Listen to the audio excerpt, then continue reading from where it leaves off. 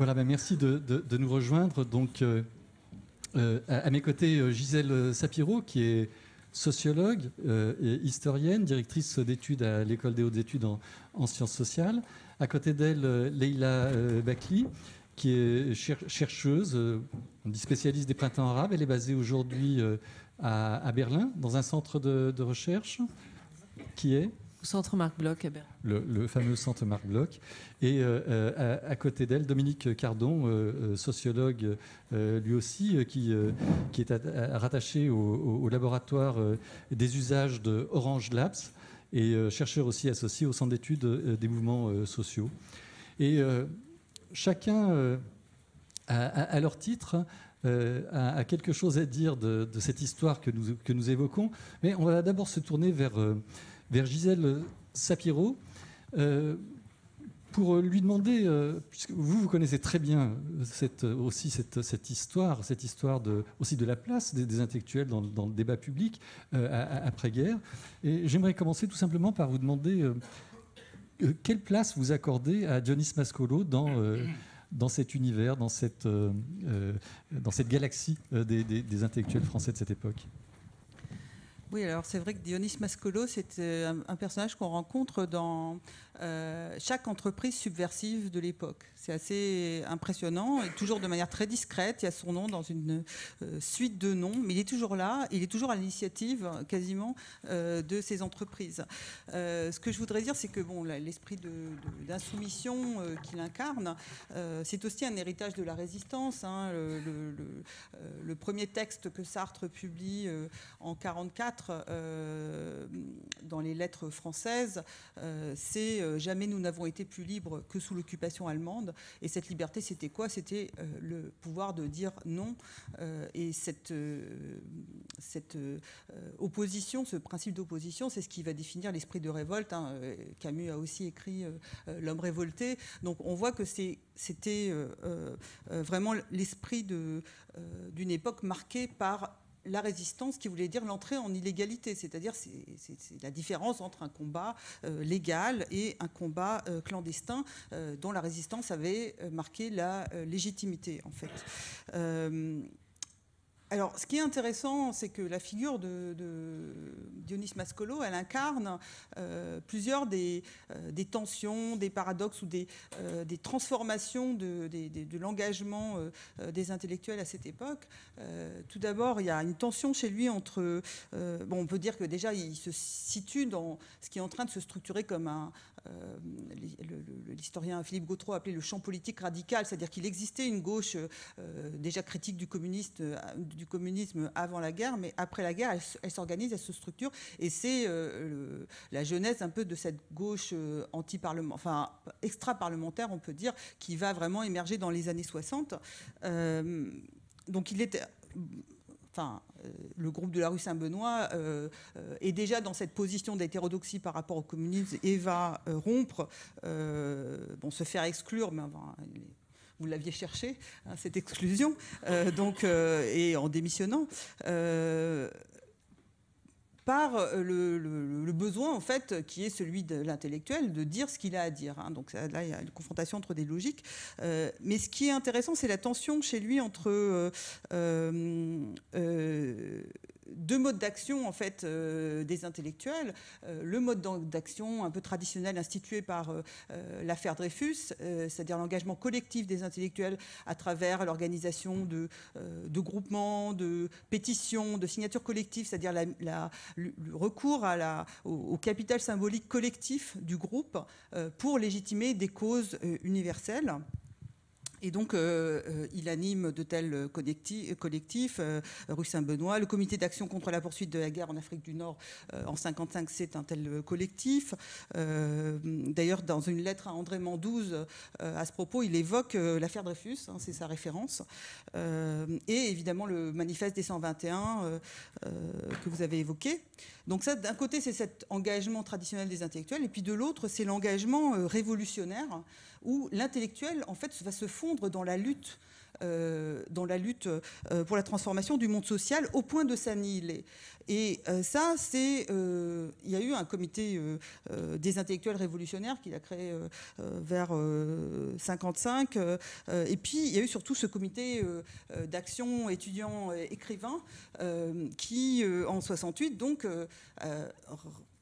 enfin, revendique l'anonymat euh, pourtant, bon, il y avait des grandes figures, hein, Duras, euh, Antelme et, Mascolo, revendiquent l'anonymat euh, comme mode de mobilisation et ils vont se trouver en opposition avec les jeunes écrivains qui s'organisent en union des écrivains, qui occupent l'hôtel de Massin et qui revendiquent la reconnaissance du statut d'écrivain, la question de, du, prolétariat. Enfin, c'est pas formulé de cette manière-là à l'époque, mais la reconnaissance des conditions matérielles difficiles euh, des écrivains. Et euh, donc cette conception de révolutionnaire, il l'exprime aussi dans euh, le livre qu'il a fait avec Sartre du rôle de l'intellectuel dans les mouvements révolutionnaires. Il a cette phrase où il dit Celui dont la pensée s'identifie à l'exigence communiste, c'est déjà en un sens supprimé par là comme intellectuel, et évidemment sans renoncer euh, au travail théorique, ça c'est important, c'est-à-dire euh, euh, travail théorique qui pour, pour, lui est toujours un travail critique, toujours un travail de, destruction en fait de, des, clichés, des modes de pensée existants.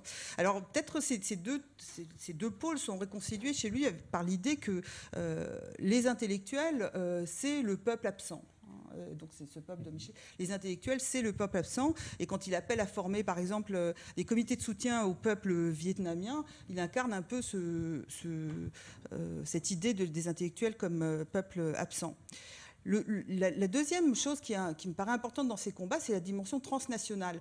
Euh, C'était pas si euh, évident avant la. Alors c'est vrai qu'avant la guerre, on avait eu, euh, bon évidemment, il y a l'international communiste, c'est la référence. Euh, il y avait eu l'association des écrivains et artistes révolutionnaires. Il y avait les mobilisations antifascistes, comité de, de défense de la culture dans les années 30.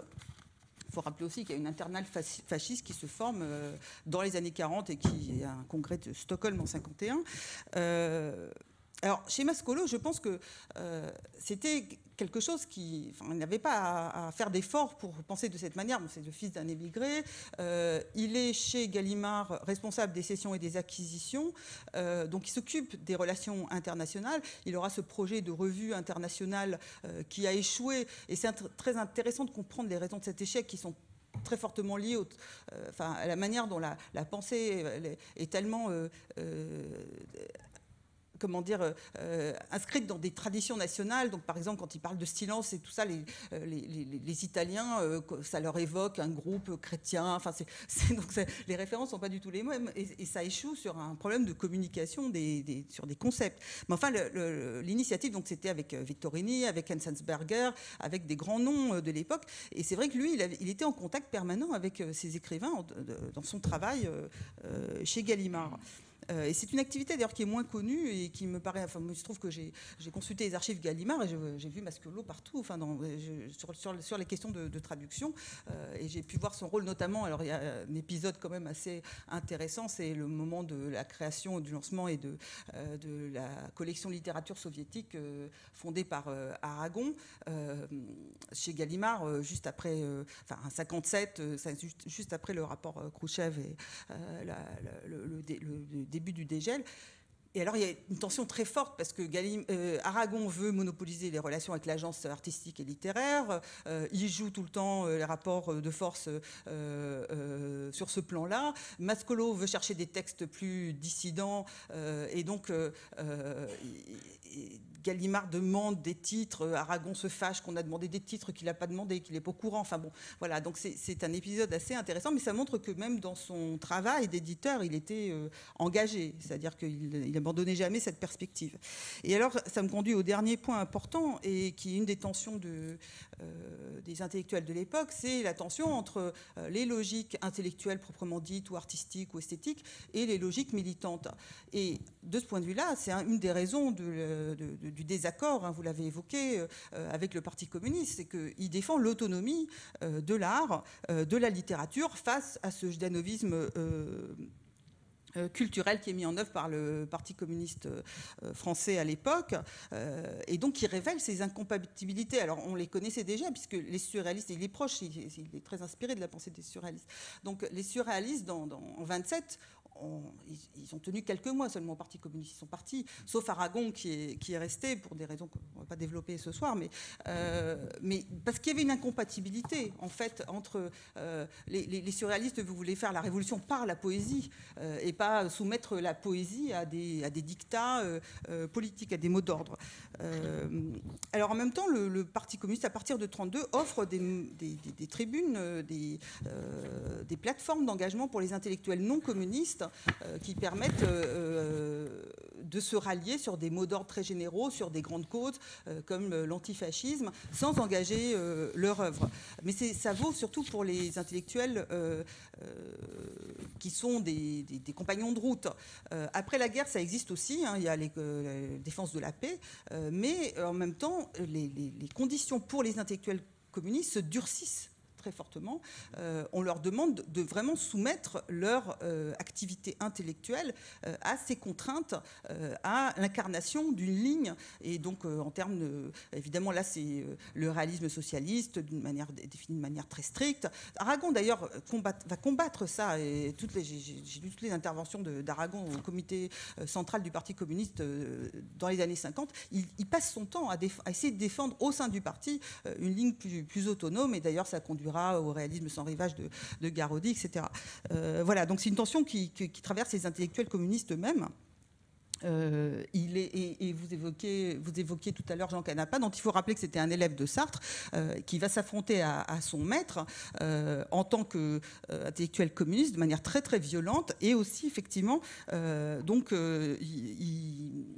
donc Mascolo et Antelme se confrontent à, Canapa.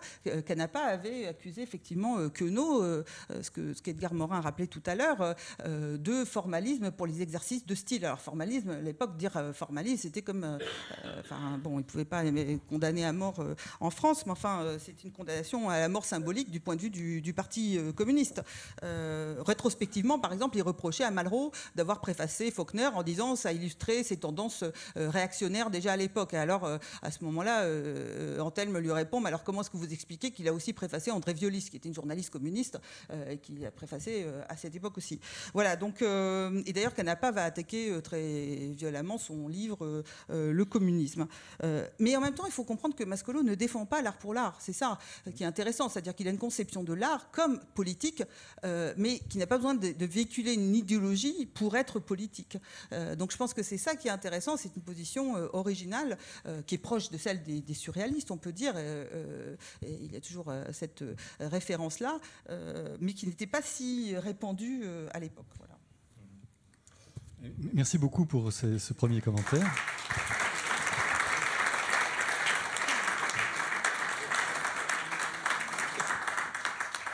Euh, euh, Mascolo avait d'ailleurs une phrase sibylline. Il disait Si je devais euh, décliner mon identité, je dirais que je suis communiste. Et il ajoutait C'est ça qui est sibyllin, et ceci n'est pas politique.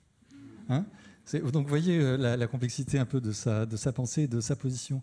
Alors vous évoquiez le rapport aussi avec les artistes, mais ça, Edgar, tu pourrais aussi euh, en, parler parce qu'il y avait beaucoup d'artistes qui, passaient rue Saint-Benoît. Euh, en, breton, bien sûr, mais Jacques Tati, Soulage. Et d'ailleurs, moi j'ai eu la chance de consulter les, les éléments de préparation, parce qu'il fallait éditer ces, textes, vous voyez, cette déclaration euh, sur le droit à la soumission. Enfin, ces textes, il fallait les imprimer, donc ça coûtait un petit peu d'argent. Euh, et euh, donc la, méthode, c'était de demander à ceux qui en avaient un peu de l'argent de bien vouloir bien cotiser pour permettre, voilà. Et alors, ils demandaient, par exemple, à, des peintres, je sais pas, à Talcott, à, voilà, au jeune Soulage. Soulage était un jeune homme à l'époque. Euh, et, à d'autres de bien vouloir euh, contribuer pour, euh, voilà, pour financer tout ça. Parce que ces, jeunes gens, il faut rappeler que vous étiez très jeune à l'époque, n'étaient pas très argentés, donc il fallait, il fallait qu'ils se débrouillent comme ils le pouvaient. Et puis, j'allais me tourner aussi vers, vers Edgar pour que tu dises un, mot de ça, parce que ce pouvoir d'intimidation du, du Parti communiste, du communisme soviétique. Au fond, toi, tu t'en es tu t'es soigné, tu as fait ta propre auto-analyse en publiant ben, en 58 euh, un autocritique, hein, et où tu évoques d'ailleurs tout, ce parcours et, euh, euh, toute, cette aventure. Oui, il y avait un, despotisme d'Aragon sur le monde intellectuel et qui, avec Elsa Triolet, qui moi m'avait dès le début révulsé parce que j'avais été une fois au, Comité national des écrivains et c'était une atmosphère de cours, euh, un peu grotesque. C'était Elsa Triolet disait à un jeune écrivain Vous avez beaucoup de talent. Enfin, c'était. C'était quelque chose qui faisait sous-préfecture, mais magnifié à l'échelle, évidemment, du, monde communiste. Donc, donc, moi j'étais qu'une seule fois, puis il est évident que Dionys était tout à fait en dehors de, ce système-là. Alors, Aragon s'est opposé violemment à nous quand on a fait la contestation culturelle. D'ailleurs, si je me réfère à, cette séance où Laurent Casanova euh, avait dit qu'est-ce que c'est que cet Italien qui vient nous donner le son français, euh, Aragon éprouvait le besoin de dire, ce que tout le monde avait compris, mais c'est le camarade Casanova que vise en ce moment le camarade Morin. Donc il éprouvait le besoin d'en rajouter et euh, il a toujours éprouvé le besoin de, défendre l'orthodoxie du parti euh, contre nous. La, grande conversion d'Aragon s'est faite euh, à l'époque du rapport Khrouchtchev. Et D'ailleurs, le paradoxe, c'est que c'était le Satriolet qui a poussé Aragon euh, dans le parti, et plus que euh, de ça, a joué ce rôle qu'il a, joué.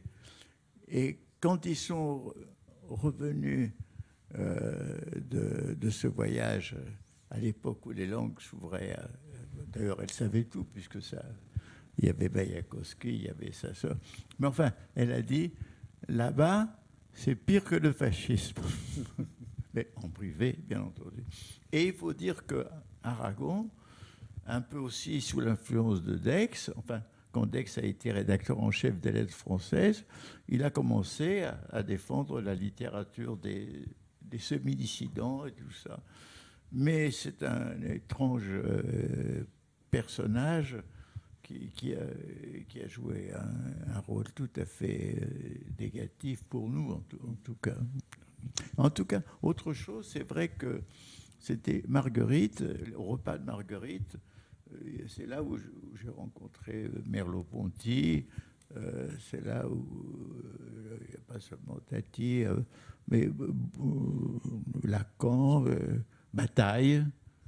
C'est-à-dire que il y avait tout un univers littéraire que j'ai découvert, moi, euh, dans ce milieu, qui était, que, connaissait aussi bien Dionys, aussi par ses fonctions chez Gallimard, que, Marguerite. Et donc, euh, c'était un, monde très, très, très, très, très riche, très vivant, dans lequel ils étaient veillés.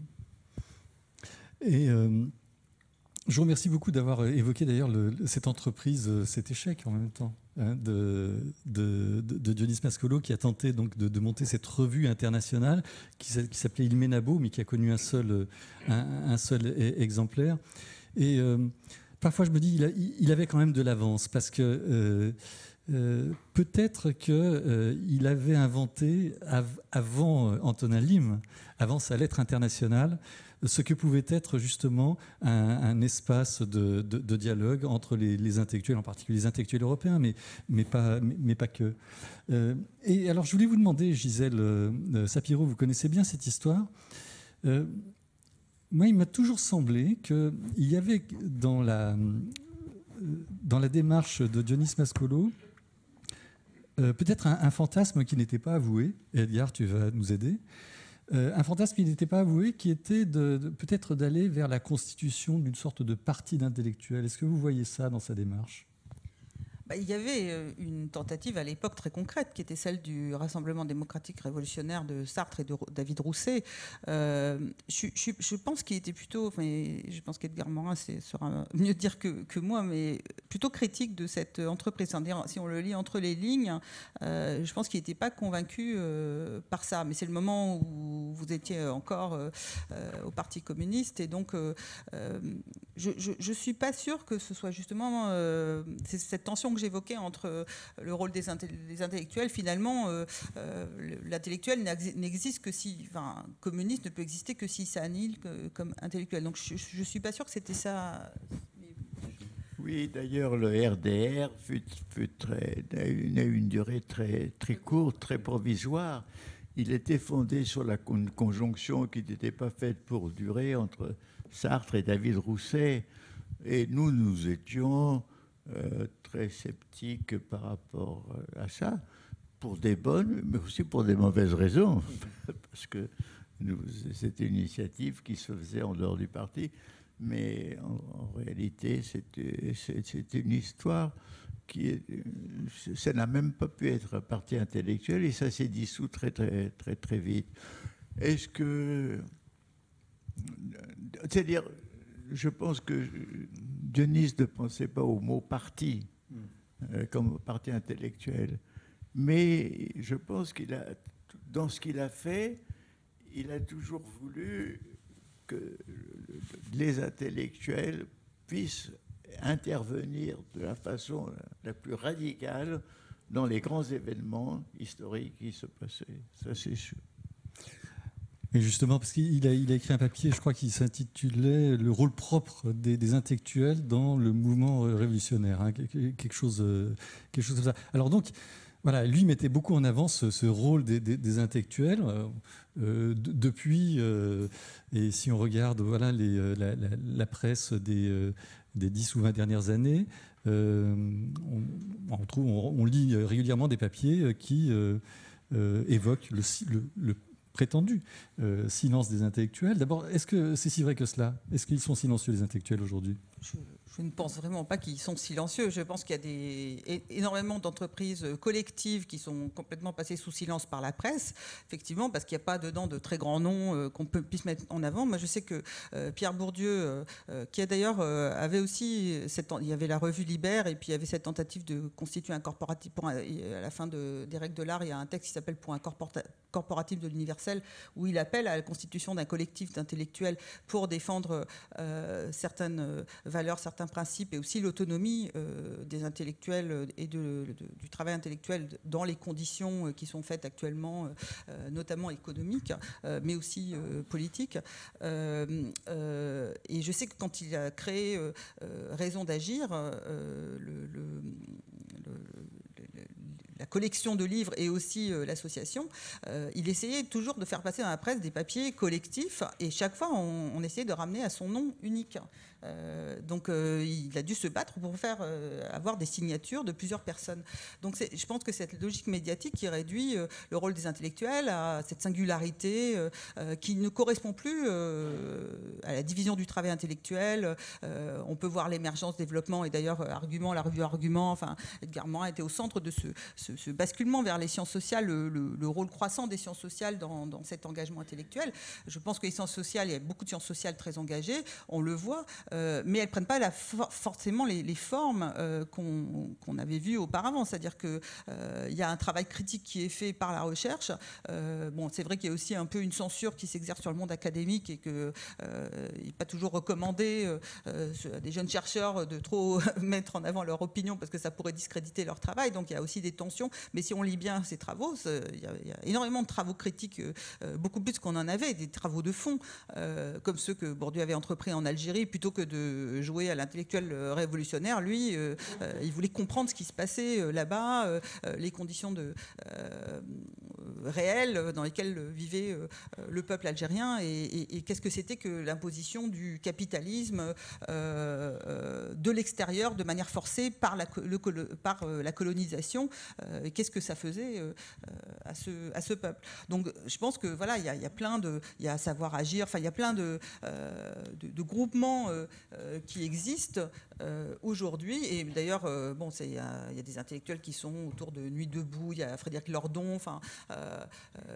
on peut citer aussi le rôle de Thomas Piketty à un autre niveau ces dernières années. Donc c'est totalement faux de dire ça. Simplement, disons que les intellectuels n'ont plus cette ambition universaliste. Il y a une sorte de Foucault avait évoqué cette notion de l'intellectuel spécifique qui n'intervient. C'était contre Sartre. Que, Sartre, c'était l'intellectuel qui intervient sur tous les domaines et qui parle de, tout, y compris de ce qu'il connaît pas. Foucault, lui, c'était vraiment recentré sur cette idée de l'intellectuel spécifique. Et Bourdieu, lui, a formulé la notion d'intellectuel collectif. L'intellectuel collectif, c'est l'idée du, qui, enfin, c'est la prise en compte de la division du travail intellectuel et du fait qu'on peut intervenir vraiment que de manière collective pas seulement pour accumuler le capital symbolique des signatures, mais du point de vue des connaissances que cela peut apporter. Dominique Cardon et Leila Bakli, vous, n'êtes pas des, historiens ou des spécialistes de l'histoire des, des, intellectuels.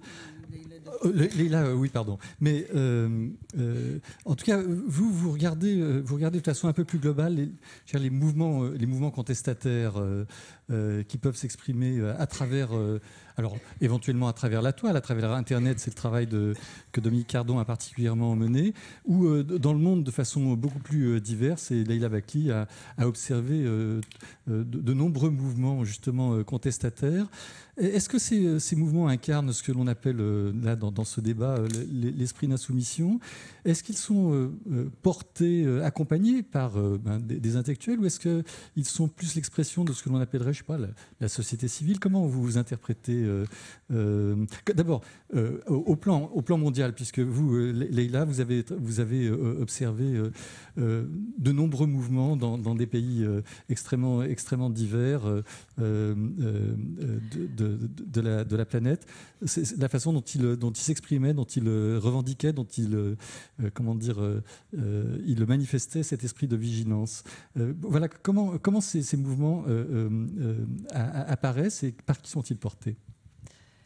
Euh, alors, d'abord, je vais essayer de parler de ce que je connais le mieux, ce qui est quand même le plus simple. Euh, je travaille essentiellement sur le monde arabe, euh, donc c'est ce que je connais à peu près. Pour le reste, je peux éventuellement comparer. Je dirais que s'il y a bien un lieu où, effectivement, cette question de la, de la voix des intellectuels a encore un sens et sous cette forme-là, ça serait effectivement dans le monde arabe. Enfin, en tout cas, c'est là que je le repère le, plus pour des, pour des raisons diverses, mais euh, qui ont peut-être à voir avec ce que, ce que Gisèle disait tout à l'heure sur, euh, sur l'expérience de la résistance euh, et dans le, fait que l'expérience de la résistance fonde dans une certaine mesure cette, cette position de l'intellectuel après-guerre.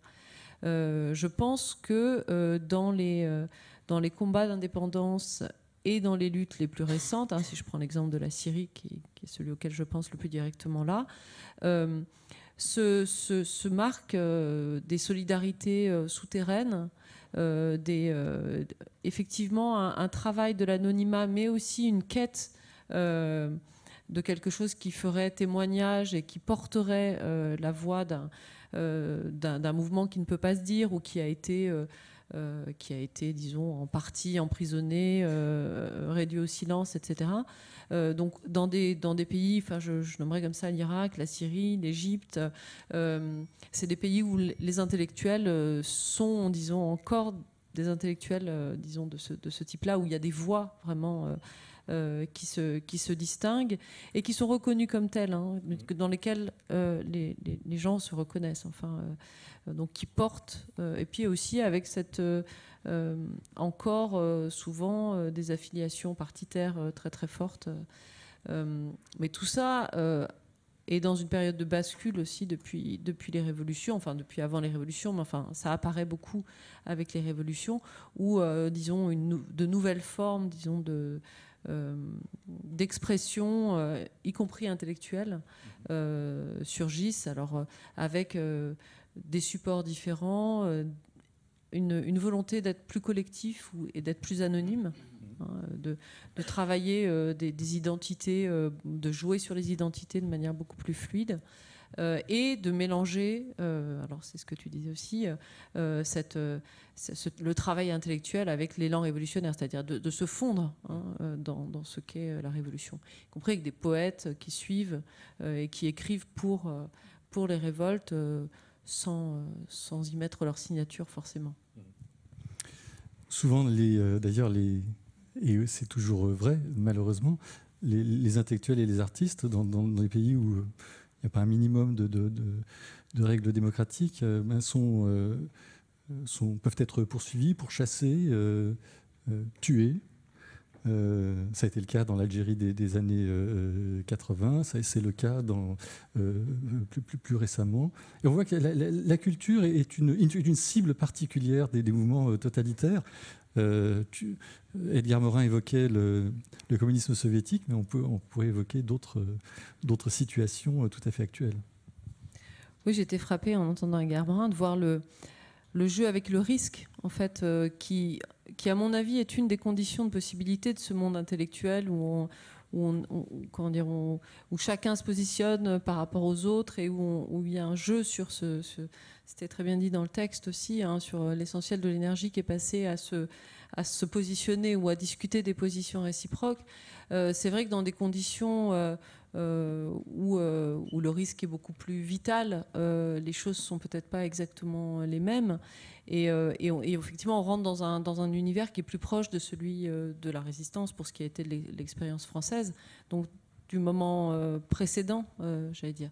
Mais c'est n'est pas forcément toujours le cas. C'est-à-dire, si on prend la Tunisie aujourd'hui, où, où on est dans un moment où il y a moins de risques, enfin, où il y en a, il y en a beaucoup moins euh, que sous la dictature ou que dans des pays proches comme l'Égypte.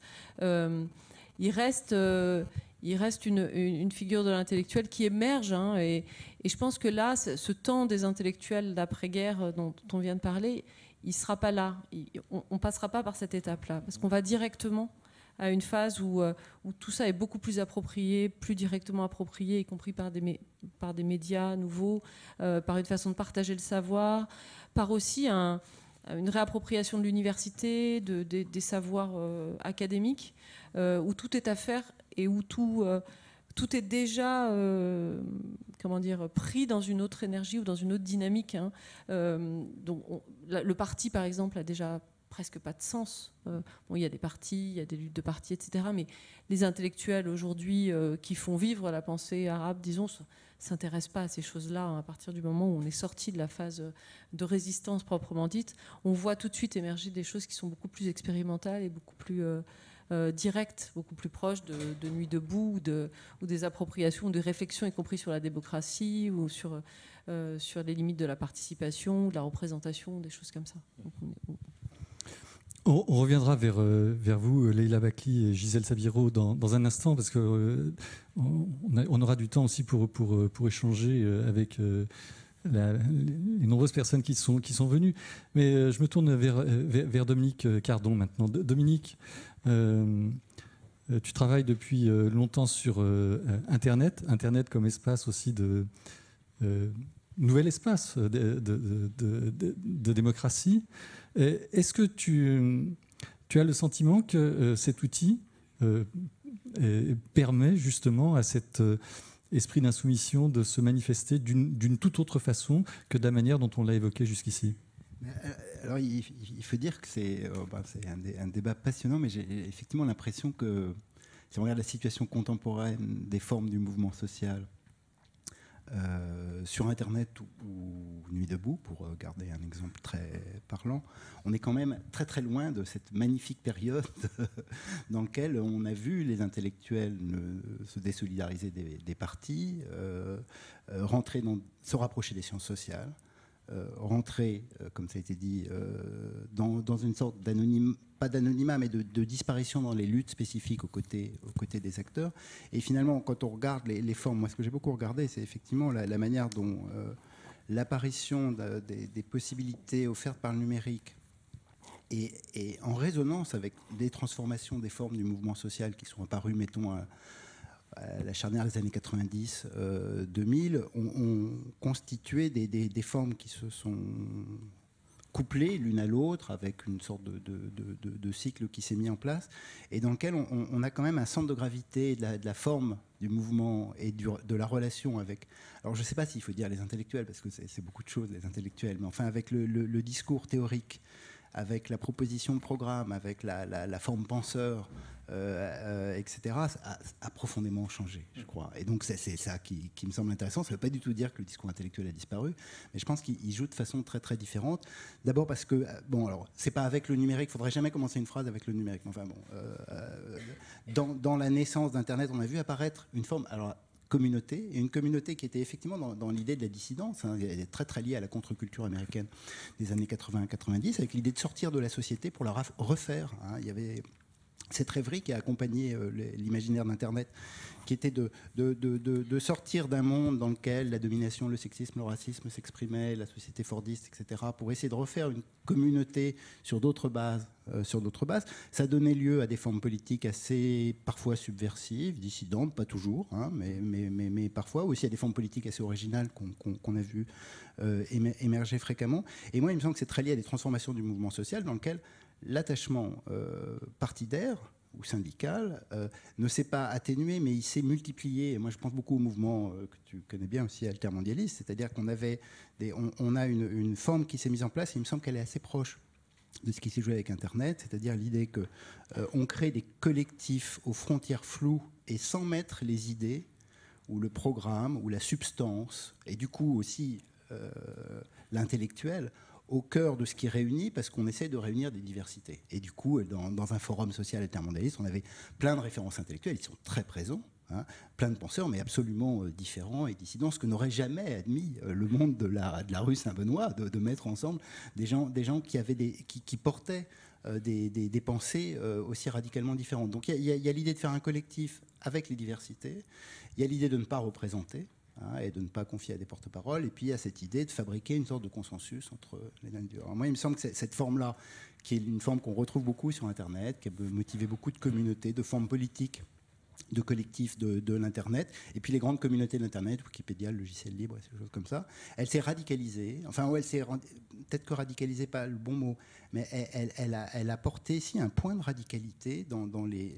les, nouveaux mouvements qui sont apparus, Indigné, Occupy, Nuit debout euh, aujourd'hui, de faire des collectifs avec des individus pour lesquels le fait même de donner son appartenance organisationnelle devient un problème. On est d'abord des sujets et des individus, et c'est en tant que sujet et individu qu'on participe à l'assemblée des discussions, en donnant un droit égal à tous et avec un, respect, un attachement, et finalement, c'est même, je crois, le cœur de l'expérience, euh, une expérience de l'égalité dans laquelle chacun, quel que soit son identité, sa condition et son appartenance, son militantisme, etc., aura le, la, même, euh, le même droit d'expression. Et donc ces, formes-là sont étonnantes, elles sont, euh, je crois qu'elles traversent maintenant le monde avec des différences culturelles et des, rapports à la politique qui sont très très différents dans, chaque endroit où ces, ces mouvements déplacent. ont lieu, mais ce qui est au cœur de l'expérience, c'est qu'elle est procédurale, elle n'est pas liée à un contenu euh, théorique, euh, programmatique, substantiel fort, puisqu'on essaye de respecter la diversité de ces affaires. Du coup, la, question très centrale que je me pose, c'est les intellectuels n'y sont pas présents. Hmm. Ils, subissent le même sort que les partis euh, politiques. Ils sont présents pour dans une autre forme. alors moi, je, dirais, et c'est là qui joue de façon très forte, c'est que c'est des, des formes procédurales qui opèrent sur un bruit de fond. Et ils fabriquent le bruit de fond. Et ce bruit de fond, il est très important. Le bruit de fond, c'est de dire on, est ensemble, on est égalitaire, on met en place des procédures, on fait des commissions, on va réformer la Constitution, on va, on va inventer des programmes d'action spécifiques. Mais il y a quelque chose qui nous réunit autour et qui est un bruit de fond. C'était euh, un autre monde est possible pour les altermondialistes. C'était euh, nous sommes les 99% pour Occupy. C'est nous valons mieux que ça aujourd'hui. C'est-à-dire en fait c'est une sorte de euh, mise en commun des subjectivités et de l'idée qu'il y a une subjectivité collective qui est, produite par des transformations, des rapports sociaux, des formes de domination, du rapport à l'argent, à la consommation, enfin à plein d'éléments. Et ça, tout le travail que peuvent faire les intellectuels, soit de façon très spécifique pour décrire ces transformations des conditions de vie, des rapports sociaux, etc., nourrissent l'expérience de sujets, mais qui, quand ils sont ensemble dans ces mouvements, je m'excuse. Quand ils sont ensemble dans le mouvement, en revanche, ont des, de grandes difficultés, hein, on l'a vu récemment avec Frédéric Lordon pour Nuit debout, euh, euh, à, à, donner une influence, en tout cas au, mouvement, si l'idée même était de donner une influence euh, au mouvement, parce qu'il est, dans cet esprit de la procédure et de la discussion, avec une sorte de, voilà, de loi absolue de l'égalité qui s'est mis en place. Alors, Dominique Cardon évoquait ben, ces mouvements qui aujourd'hui euh, se, manifestent, manifestent une forme d'esprit de résistance, si, euh, si c'est pas trop euh, osé d'utiliser cette expression. Eliard, je reviens vers toi parce que toi, tu tenais absolument à ce que nous évoquions aujourd'hui, en, parlant de l'esprit d'insoumission tel, que, tel que Dionys a pu le représenter, tu tenais à ce que l'on évoque ces mouvements de aussi de jeunes d'aujourd'hui. Euh, qui ne, s'organisent pas de la même façon, euh, à, la façon dont vous vous organisiez, mais, qui, euh, au fond, essaient aussi de, faire avancer quelque chose de, la même cause que celle que vous essayez de, faire avancer. Au fond, faire reculer les injustices ou dénoncer les, injustices. Comment tu interprètes ces, mouvements en, observant justement leur place dans l'histoire contemporaine? Bon, je trouve que la, euh, la première chose, c'est que dans, notre histoire, peut-être dès le 19e siècle, mais au 20e siècle, euh, disons, les,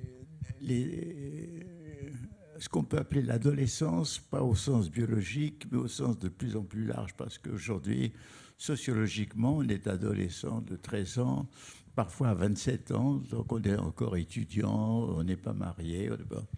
Enfin, je dirais que cet âge juvénile euh, qui se trouve entre le cocon de l'enfance, qui n'est plus protégé par la famille, et qui n'est pas intégré dans la société adulte, euh, elle éprouve très souvent à la fois une aspiration à une autre vie qui n'est pas celle que montre le monde euh, normal, adulte, et une révolte. Euh, je dirais que, en fait, déjà dans les mouvements de 1830-48, c'était la jeunesse qui était euh, la plus active, et dans notre résistance à nous, sous la guerre, l'occupation, on peut dire que nos responsables principaux, ils avaient 27-28 ans, et nous, on avait entre 20 et 23, 24 ans. Je veux dire que euh, la résistance était un mouvement de jeunesse dans un. Bon. Et mai 68 a été, je crois, très exemplaire parce que euh, créé d'abord de façon spontanée par un petit groupe euh, à Nanterre le 22 mars, un petit groupe influent, libertaire, assez influencé d'ailleurs par socialisme barbarie, mais enfin libertaire, c'était cette aspiration juvénile qui s'est manifestée euh, une autre vie, plus de communauté et plus d'autonomie à la fois. C'était des aspirations anthropologiques que, qui s'endorment dès qu'on arrive à l'âge adulte, sauf exception comme Dionys. Et euh, donc, c'est pas aussi. On, voit que sous d'autres formes, ce qu'ont été euh, Los Indignados en Espagne, ce qu'était Occupy Wall Street, ce mouvement qui n'a pas eu lieu en France parce qu'à l'époque où il a voulu se faire, il y a eu quelques tentes qui se sont dressées à la défense, mais Sarkozy les a aussitôt fait démolir. C'est-à-dire, Sarkozy a eu à écraser dans l'œuf un mouvement qui peut-être se serait développé à l'époque. Et la chose intéressante, c'est que euh, Nuit debout, d'une certaine façon, exprime cela, c'est-à-dire que, évidemment, il y a la précarité, il y a la loi euh, Myriam qui va sortir, euh, il y a le film Merci patron qui est un film magnifique parce que ce, film-là a réveillé quelque chose, mais qui est toujours latent. Je pense que dans. Alors, moi, j'étais aussi un peu inquiet parce que pour la première fois, on avait vu à l'occasion de, la manifestation euh, contre le mariage pour tous qu'il y avait déjà une partie de l'adolescence, de, la jeunesse qui était plutôt se portait de ce côté-là, comme du Front National. C'est possible que ça continue, mais jusqu'à présent, le, mouvement. Et alors, moi, je, pense aussi qu'existe euh, en France de façon extrêmement dispersée, avant même les Nuits debout, euh, toute une série d'initiatives qui se manifestent aussi bien par le mouvement convivialiste, euh, qui est lointainement inspiré par la pensée de Ivan Illich, mais enfin qui, qui aspire à une vie plus fraternelle, plus solidaire, plus amicale. Ça. Il y a euh, l'économie sociale et solidaire, euh, qui aussi euh, veut ressusciter, ou plutôt créer à nouveau, relancer tout ce qui est mutuel et coopératif. Il y a les colibris, qui sont un mouvement aussi fraternaliste qui est issu de Pierre Rabhi, l'écologiste et vous avez d'innombrables initiatives comme euh, euh, le, jardinage urbain, euh, les écoquartiers, des mouvements spontanés. C'est-à-dire, ce, ce que je trouve d'important, c'est que il y a aujourd'hui l'élément, disons, qui s'est progressivement amplifié c'est une hégémonie totale du calcul, de la finance, de l'argent, euh, de l'anonymat, et ceci d'une façon, d'abord, le monde de, de, comprendre notre monde euh, pour la politique, c'est le calcul, c'est les sondages d'opinion, c'est le taux de croissance, euh, c'est le PIB, c'est toutes ces choses. Ils ne voient le monde que par le calcul, c'est-à-dire par tout ce qui est inhumain. Euh, Aujourd'hui, le, pouvoir de ce qu'on appelle les lobbies, c'est-à-dire en fait le lobby financier, est, énorme sur les ministères, sur les, bah, par exemple, une, décision de protéger les abeilles contre certains pesticides n'arrive pas à, franchir la loi. Euh, la, décision même de ralentir le nucléaire s'est trouvée barrée par la, pression du lobby nucléaire qui n'est pas seulement officiel, mais il y a d'énormes intérêts derrière. Jamais le pouvoir de l'argent n'a été aussi omniprésent, énorme, etc. Et il y a une réaction. Alors la réaction, elle se fait comment? Parce qu'on crée des oasis. Déjà, nous avons nos propres oasis, qui sont nos oasis d'amitié, de fraternité, de camaraderie, de famille, etc. Mais on essaye de créer des oasis un peu plus amples, comme ça. Comme, euh, je pensais à Rabi, je pense à Philippe fait, euh, qui a un, oasis écologique euh, en Sologne. Enfin, il y, a, différents endroits. On essaye de vivre un peu autrement. on essaye de de, vivre. il y a tout ce qui est covoiturage, co-ceci, co-cela, de, coopérer. C'est-à-dire il y a une résistance spontanée mais dispersée contre cette tentative de nous robotiser, enfin, à appliquer la, la mécanique abstraite euh, sur nos vies, hein, de penser que c'est ça l'organisation, et qui triomphe évidemment maintenant dans, dans beaucoup de, firmes et de sociétés euh, qui créent le burn-out, etc. Parce que euh, tout, tout, ce qui opprimait et aliénait euh, dans, le, dans le passé les ouvriers d'usine, l'OS, n'est-ce pas hein, Maintenant, ça joue dans les bureaux et, et avec une robotisation. Donc, moi, je pense que des forces naissent sont, existent dans notre société. Elles sont multiples de résister à ça. Bien entendu, il n'y a aucune pensée qui vienne confédérer et donner un sens, une voix, en disant voilà, euh, c'est-à-dire, on sent obscurément que la voie que suit notre société et plus largement notre civilisation est une voie qui non seulement est oppressive, est une voie dangereuse. On voit que la dégradation de la biosphère, la multiplication euh, des armes nucléaires, euh, les dangers multiples des fanatismes, on voit très bien que cette machine de la mondialisation, qui a des aspects ambivalents, qui a eu des aspects positifs dans certains cas, mais a des aspects de plus en plus euh, catastrophiques pour l'humanité. Et contre ça, il n'y a que l'idéologie très limitée et euphorique de la transhumanité, mais effectivement. Donc, je, je, et je pense qu'ici, le vrai problème, c'est qu'il n'y a pas une pensée et, qui permette de, dire voilà une autre voie, annoncer une autre voie.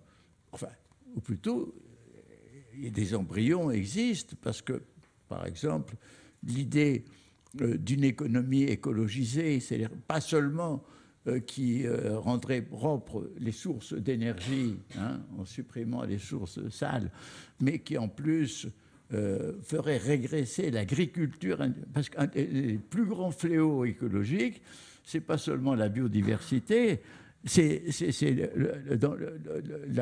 la monoculture industrialisée mondiale avec tous les pesticides et tous les engrais chimiques et l'élevage industrialisé qui donne des, produits standards, ainsi enfin, partout. Il y a, et même il, commence à y avoir une réaction sur le plan de la consommation, ne serait-ce que même de façon illusoire, on cherche des produits bio, etc.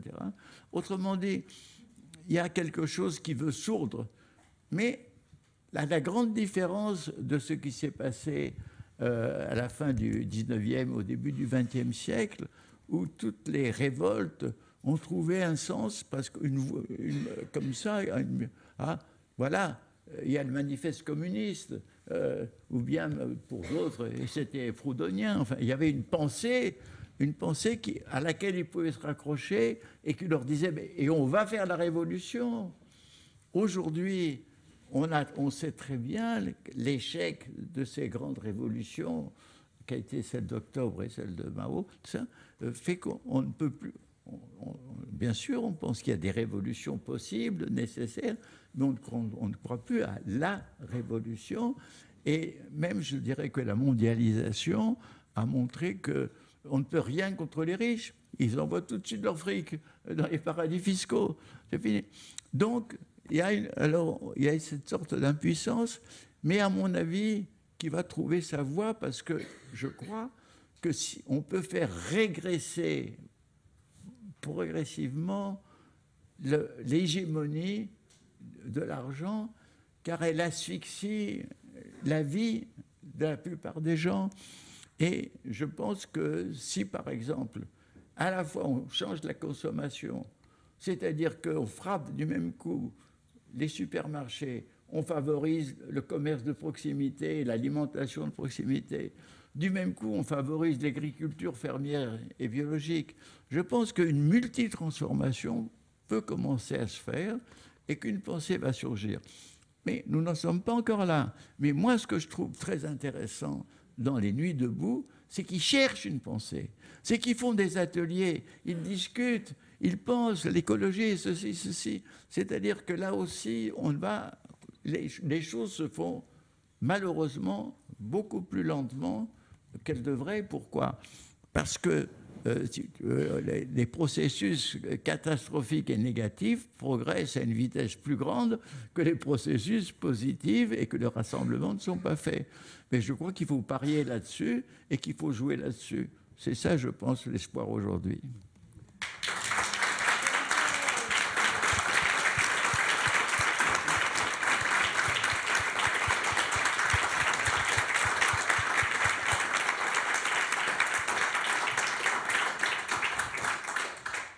Alors, Leïla, je ne vous demanderai pas, mais si, je peux aussi vous demander de vous exprimer sur cette vision globale euh, de, l'esprit de résistance que vient de, présenter euh. Mais euh, comment vous, vous considérez justement ce mouvement Nuit debout par rapport à, d'autres mouvements que vous avez pu observer? Comment vous, l'interprétez Est-ce à la façon d'Edgar Morin? Vous auriez dû me demander ce que je pensais. C'est plus simple pour moi de comment dire, de réagir à ce qui vient d'être dit que de m'exprimer simplement sur le mouvement Nuit debout. Il euh, y a deux choses qui me, j'allais dire qui me gênent, mais c'est pas simplement ça. C'est-à-dire que il y a d'abord cette idée de, sève et de jeunesse euh, qui, à laquelle je résiste parce que, comme M. Edgar Morin le sait bien, une partie de la jeunesse porte sa sève bien ailleurs que du côté de la transformation révolutionnaire euh, progressiste aujourd'hui et que, euh, de fait, euh, dans les mouvements de jeunesse euh, auxquels on assiste aujourd'hui comme hier, il y a des choses qui changent et, et c'est pas simplement, comment dire, le le, comment dire, le modèle théorique qu'on a ou l'arsenal euh, euh, révolutionnaire qu'on a à disposition qui détermine un mouvement. Euh, on parlait tout à l'heure des mouvements altermondialistes. Ils ont été une expression de la contestation d'un ordre néolibéral à un certain moment. Ils ont effectivement contribué peut-être à inventer quelque chose. Ce que je constate moi aujourd'hui et depuis une quinzaine d'années, disons, et depuis, disons, ce qui a été la, la fin de ce qu'on a appelé le mouvement que de commettre du mouvement mondialiste, c'est que les conditions dans lesquelles s'exerce cette révolte se sont durcies terriblement. Euh, on ne peut pas voir juste là euh, des choses émerger, il y a ci, il y a ci, il y a ça. Tous ces mouvements sont extrêmement réprimés, ils sont extrêmement réprimés, y compris ceux qui sauvent les abeilles, y compris toutes ces choses très jolies avec des colibris et des oiseaux. Euh, on, est, vraiment euh, dans, un, temps où euh, j'ai tendance à penser que effectivement Nuit debout est un terrain d'expérimentation, mais on le voit, on l'a vu pas plus tard qu'hier et qu'avant-hier et que dans le mois qui vient de passer, une répression très forte de ce mouvement et une jeunesse qui accède à la politique. Alors, il n'y a pas que des jeunes, hein, je voulais revenir là-dessus sur la ligne de mais une jeunesse qui accède à la politique dans des conditions de violence que moi et que d'autres n'ont pas connues. Enfin, il faut se, figurer ça, que vous, évidemment, vous avez connu, puisque c'était un autre temps, mais que depuis, disons, euh, euh, la fin des mouvements euh, anticoloniaux, depuis Sharon, etc., moi, je pense que ce que j'entends dans la bouche des jeunes aujourd'hui, c'est quand même une rage qui, a un nom et qui, s'exprime et qui, porte des uniformes et qui est très très clairement incarné par l'État. Et quelque chose que je n'ai pas je reviens à ce que je disais tout à l'heure, j'étais frappée sur ce jeu euh, avec le risque des intellectuels, etc., qui était un jeu politique dans lequel, oui, on a, on a une sorte d'agora, on peut, on peut jouer avec ça. Là, il y a quelque chose de différent. Il y a dans le même temps, simultanément, effectivement, une expérimentation politique extrêmement pacifiste, très très expérimental, euh, qui, qui, veut euh, trouver de, nouvelles choses, etc., et qui cherche à tenir des places pour ça. Mais dans le même temps, dès qu'elle sort de ces places, dès qu'il y a des mouvements, etc., ils sont extrêmement, ils sont dans des contextes extrêmement violents, avec des peines, avec des arrestations, avec, quand même une violence physique y compris, qui se durcit. Ce qui veut dire peut-être que ces mouvements en arrivent à menacer l'ordre établi de telle manière qu'il doit réagir, hein, euh, qui pas simplement, euh, il n'y a pas que l'évasion fiscale qui est trouvée comme réponse, mais bien un ordre. Mais c'est aussi ce qui accompagne toutes les lois sécuritaires qui se sont euh, installées les unes après les autres hein, et qui donc font, je pense, des confrontations, enfin, des images telles qu'on les voit aujourd'hui. bon, on les a connues à Gênes en 2001, mais moi, ça me rappelle aussi des images d'archives de manifestations pendant la guerre d'Algérie ou de choses comme ça, où, on course euh, les manifestants. Donc je c'était juste... Euh, et l'autre chose que je voulais dire, c'est que ces mouvements ne sont pas que des mouvements de jeunesse, euh, parce que justement, ils sont, très pris dans des situations sociales de détresse et de difficultés sociales, et qui sont très accompagnés. quand on va à Nuit debout, c'est immédiatement frappant. moi, je suis très frappée de voir que tout le monde dit qu'il y a des jeunes. Il y a des jeunes il y a quand même aussi beaucoup, beaucoup, beaucoup de gens qui ne sont pas jeunes. Et, ils sont là, enfin, dans cette individuation de chacun, il y a aussi ça. Il y a aussi des générations, il y a aussi un mélange qui n'est pas, qui est pas uniquement un mouvement de jeunesse, et qui est vraiment pas du tout uniquement un mouvement de jeunesse. Merci. Alors, euh, j'ai du mal à, vous voir, mais je vais. Euh, voilà. Mais euh, peut-être que ben, la, parole pourrait être donnée du côté de, la salle, qu'on pourrait prendre des remarques, des réflexions ou des questions. Et en tout cas, une, un, premier groupe, pourquoi pas, d'intervention. pour que vous puissiez ben, je peux témoigner, réagir sur ce qui vient d'être dit depuis maintenant deux heures que, que nous sommes ensemble. Je vois un bras se lever au fond.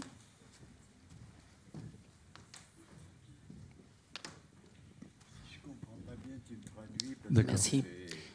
Euh, ma question va être très simple. C'est à propos de l'intervention de Elio Vittorini euh, au sortir de la guerre. C'est une question à Edgar Morin. Est-ce que vous pensez que l'ouverture euh, plus grande du Parti communiste italien, au moins d'une partie du Parti communiste italien au sortir de la guerre, est due à l'influence de Gramsci? Alors c'est une question pour toi, Edgar. Est-ce que tu penses que l'influence euh, de, Vittorini, la place de Vittorini et l'influence du Parti communiste italien euh, au sortir de la guerre euh, est due à l'influence de Gramsci, à la place de, Gramsci dans la pensée communiste italienne, et pas seulement. Oui, incontestablement, il y a eu le fait que Gramsci est qui est resté presque totalement inconnu en France jusqu'à une époque euh, très récente, était un penseur qui n'était pas, entre guillemets, dogmatique et qui était euh, extrêmement fécond, euh, et que dans le fond, il y a eu...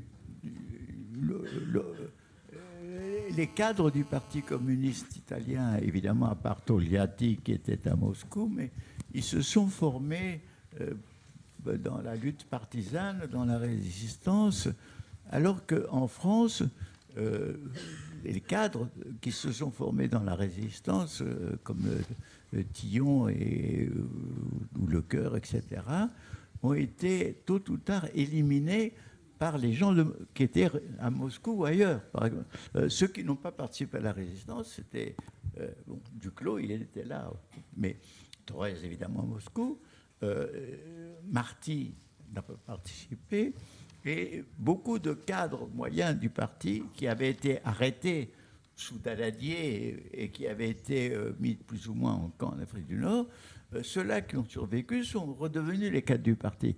Autrement dit, les cadres staliniens de la haute époque sont redevenus les cadres du parti français, alors qu'en Italie, il y a eu une sorte de génération de, cadres nouveaux, avec en sorte une sorte de, libéralisme, et je dirais même de... De côté presque euh, euh, euh, catholique à l'italienne, de,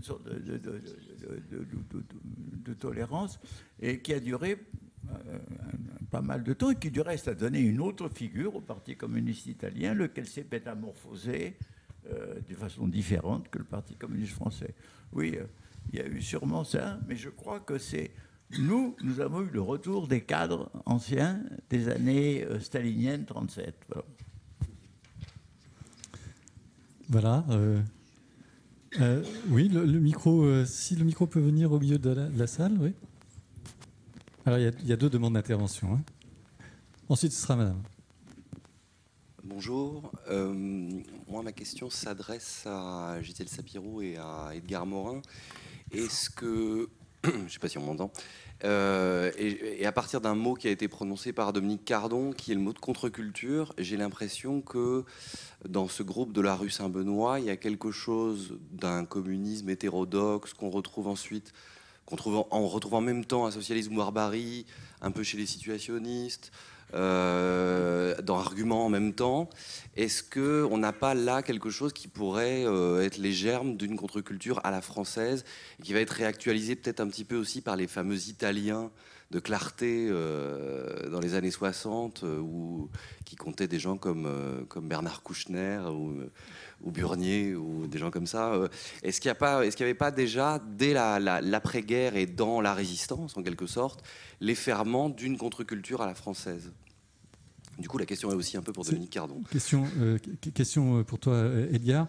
Est-ce que, d'une certaine façon, ce que vous avez exprimé dans, l'après-guerre préfigurait l'idée, la notion de contre-culture? Est-ce que déjà vous étiez dans cet esprit-là Ou est-ce qu'il y avait des, ferments de contre-culture dans la manière dont vous vous exprimiez? Bah, Je crois que la, vie que, l'on menait, un peu cette sorte de vie que d'une certaine façon communautaire, cette patrie d'amitié, cette, cette extraversion qui nous amenait à nous intéresser à la, musique, au rock, à la vie de café. Il y avait peut-être des, germes dans, cette, disons, cette civilisation de Saint-Germain-des-Prés qui a duré deux ou trois ans après la guerre. Après, après la guerre. Mais euh, ce, ce, n'était que des éléments, mais je pense que ce, qui est sorti en Amérique dans les années 60 est très original parce que c'est sorti euh, des étudiants de Berkeley, c'est sorti d'une jeunesse qui, euh, dans le fond, qui, dans un monde riche et aisé, vivant dans le confort, a commencé à éprouver le besoin du rejet de ce confort, de, ce, de cette vie vide euh, à l'américaine, avec le règne du fric. ils ont voulu vivre une vie autre, communautaire et sobre. Euh, certains se nourrissant des déchets qu'on trouvait dans les poubelles. Et en même temps, il y avait la guerre du Vietnam qui a créé une osmose entre la révolte contre la guerre au Vietnam. Euh, donc, si vous voulez, c'est, ce serait peut-être exagéré de dire qu'on préfigurait ça, mais nous étions quand même, euh, faisons quelque chose qui n'était pas inscrit dans la norme sociale à l'époque, ça c'est vrai. Mm-hmm. Si le micro peut aller vers. Euh, voilà, madame, un petit peu au milieu. Je prendrai ensuite une, question et puis, et puis euh, ce sera à, nouveau à Philippe Maurier-Genoux de nous proposer une, une lecture.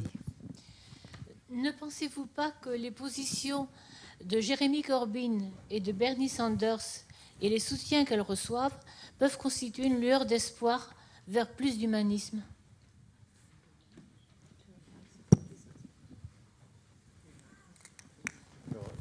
C'est une question qui peut s'adresser. Est-ce que les uns les autres, vous avez euh, des éléments de réponse à, la question? Euh, Est-ce que euh, c'est une question sur Jérémy Corbyn et, Bernie Sanders. Est-ce qu'ils représentent, est-ce qu'ils incarnent un, nouvel espoir? Moi, je, veux bien dire, mais de toute façon, improbable un mot. pour, moi, à titre personnel, oui. Mais, mais surtout, pour, revenir sur, un point de débat qui s'est constitué, c'est que moi, je pense, dans ce qu'a très bien dit Edgar Morin sur, euh, tout à l'heure sur euh, ces nouvelles apparitions de formes d'expérience. Et moi, j'insiste beaucoup sur l'idée d'expérience. Il y a quand même, par rapport à la situation de l'après-guerre euh, évoquée, il y, a, un déplacement du centre de, gravité des luttes politiques qui, qui, sont moins adressées vers le centre, vers le parti, vers l'idée révolutionnaire, vers la prise de pouvoir et vers des formes d'expérience qui sont qui vont se, jouer euh, de façon beaucoup plus locale, de façon beaucoup plus territorialisée, sur des réseaux affinitaires, sur des formes de coopération, qui peuvent parfois être internationales d'ailleurs, hein, mais sur, sur, quelque chose où, l'obsession, euh, en tout cas de l'État et de son contrôle, et, finalement aussi de, la forme politique euh, représentative, soit, soit centrale. Et moi, il me semble que dans toutes ces expériences-là, il y a quelque chose qui se joue dans les mouvements actuels évoqués des, places, des indignés, etc et qui ont ensuite des effets de bord. Parce que le reproche qu'on leur fait, c'est qu'on leur demande quel est votre programme politique. Hein, dites-nous. Alors, et dites-nous vraiment quel est votre programme politique. Alors précisément, c'est une mosaïque en constitution d'expériences euh, très différentes, nourries par des intellectuels et des pensées très très différentes qui, qui sont en coordination. Mais elles ont quand même des effets de bord ensuite sur le centre. Hein, et je, pense que si on veut regarder aux États-Unis, alors je connais mal la situation, mais si, on lit un petit peu les, commentaires qui sont faits, euh, toute la campagne de Bernie Sanders, c'est en fait, d'une certaine manière, en partie et en partie seulement, hein, c'est pas la cause unique, mais un effet de bord euh, conséquent de Occupy Wall Street. Hein, et que finalement, cette idée que ça a aussi déplacé, à la fois dans l'expérience de ceux qui l'ont pratiqué, mais aussi dans les, cadres et les représentations de l'espace politique des Américains, l'idée qu'on pouvait euh, déplacer un peu un curseur, des curseurs politiques qui étaient quand même très, se, ramenaient très fortement vers une polarité centrale et euh, rend possible, enfin transforme les conditions de possibilité de la campagne, même si elle risque d'échouer, de Bernie Sanders. Merci. Euh, puisque je suis aussi le gardien du, temps, et euh, je vais peut-être maintenant demander à, Philippe de, nous, de nous rejoindre, sauf s'il y a une dernière question. Il y a une question D'accord. On va prendre la question du monsieur, et puis, euh, et, puis après, ce sera à, toi, Philippe. Encore une question. Hein. ou une remarque, une proposition. Je, sais pas. je parlais un peu de Beyrouth. Si vous considérez Beyrouth comme une ville insoumise euh, par son histoire euh, et de tous ses voisins, et si vous la considérez comme telle, est-ce que les intellectuels européens ne sont pas un peu tièdes par rapport à cette insoumission? Oui. Euh, je ne sais pas si je peux dire en général que Beyrouth est une ville insoumise euh, toute seule euh, entièrement. c'est un peu difficile, mais enfin, en tout cas, il s'y pratique des formes d'insoumission évidemment marquées et marquantes. vous voulez parler de Beyrouth maintenant, j'imagine, ou de Beyrouth avant la guerre? Parce qu'il y a aussi, y a aussi le L'incarnation de, Beyrouth insoumise, c'est juste, juste avant la guerre civile. Et, aujourd'hui, effectivement, on y retrouve euh, quelque chose qui, qui, ressemble à cette ébullition-là. Euh, mais quand même, on est là aussi, hein, euh, c'est passé par une expérience d'une telle euh, d'une telle difficulté que bon, on est dans une ville qui renaît euh, de ses cendres. Euh, peut-être qu'il y a aussi dans, cette, dans, ce, dans, ce, contexte particulier quelque chose qui fait de, cette ville-là une ville particulièrement insoumise. je ne comprends pas votre question sur le rapport des Européens avec, avec Beyrouth. Un peu tiède par rapport à l'aide à cette insoumission. je crois qu'il l'identifie pas comme tel, en fait. C'est plutôt ça. À, Beyrouth, c'est un, une sorte de, fermentation euh, intellectuelle euh, avec plusieurs, plusieurs appartenances, plusieurs euh, options. dans une certaine mesure, il y a une partie des intellectuels européens qui, au contraire, s'identifient trop à, sa fin.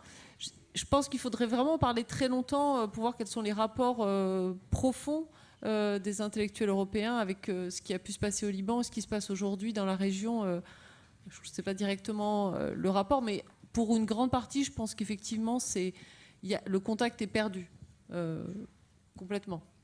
personne ne sait réciproquement ce, qu'on peut, peut, faire ensemble, même à la limite.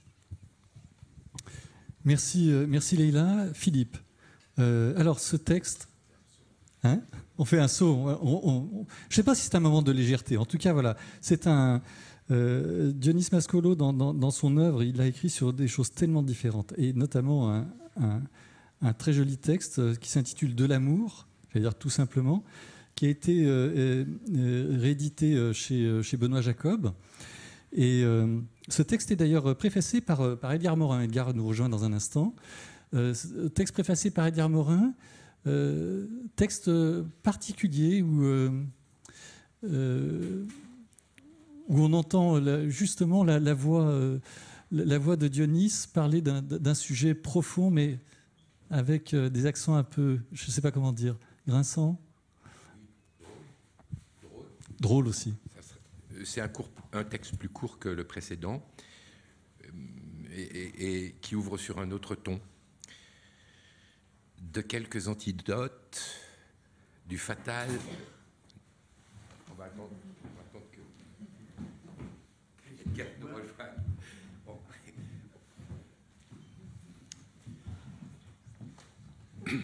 Donc, de quelques antidotes du fatal non-amour de l'amour.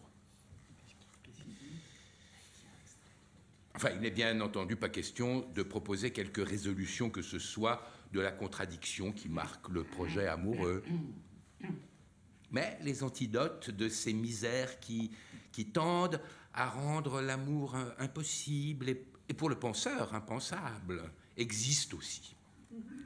il y aurait euh, tendresse, par exemple, qui tempère la rudesse du désir et fait baisser les armes aux chasseurs, aux guerriers conquérants, aussi bien qu'à Pentésilée, qu'il lui arrive d'avoir en face de lui.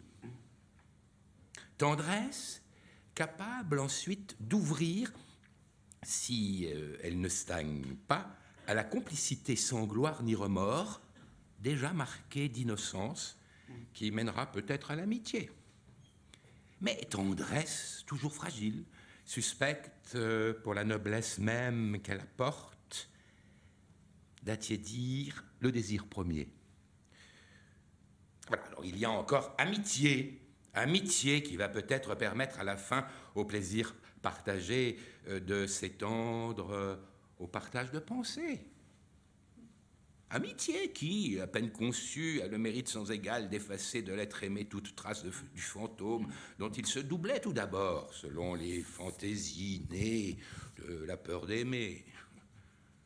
Peur à peu près universelle, on le sait, enfin surtout masculine, hein, si l'on en croit les témoignages. Mais seuls des hommes témoignaient, et à laquelle la littérature euh, des romans noirs en écho à de très anciens mythes, a donné forme réaliste. Disons la Sphinge, la Gorgone ou Méduse, Judith ou Salomé. Euh. Mais amitié sera elle aussi quelquefois ressentie comme dangereusement émolliente.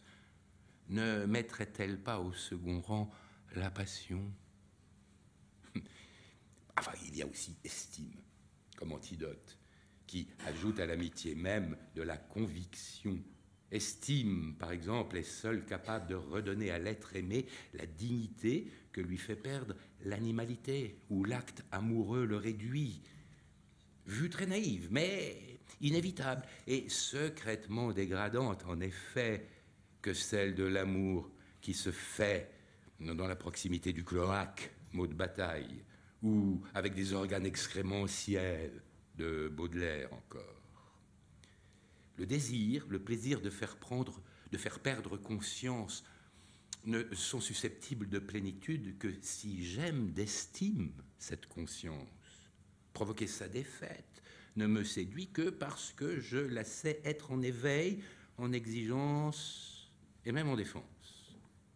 Mais estime, à son tour, serait parfois soupçonnée de retirer du relief au rapprochement, enfin de le dédramatiser. Déception pressentie de la fin des combats, il y aurait en effet comme une menace de paix. Après quoi, estime et amitié-tendresse, mêlées, pourront donner lieu à ce qui est peut-être l'une des façons les plus heureuses pour le couple de s'accomplir, et qui est la faculté d'aimer ensemble les mêmes choses du monde. Mais cela même? Ne plus faire qu'un devant le monde peut nourrir euh, une tristesse spécifique. Les temps où c'était à la découverte de l'un de, de l'autre que l'on se livrait, eh bien ces temps, hein, ils sont passés. L'espèce de casuistique ainsi engagée serait évidemment à n'en pas finir. On l'abrégera donc, non sans avoir fait un sort spécial, à compassion qui ajoute à ce qui précède une indispensable note. Compassion. Ce mot, à première vue, peut choquer, mais il désigne l'unique antidote des sécrétions de ce petit venin de mépris que produisent tant de pensées d'entreveil et, et sommeil, ces sensations d'âme qui affleurent à peine à la conscience ou qui restent tout à fait confinées euh, dans la pénombre où elle continue néanmoins de travailler.